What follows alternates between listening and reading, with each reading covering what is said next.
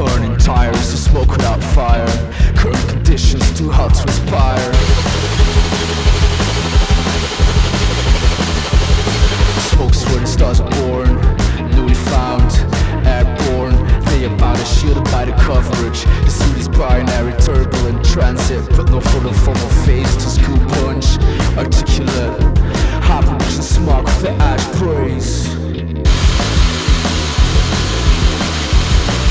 But the combustion plume is just a side product of noble gas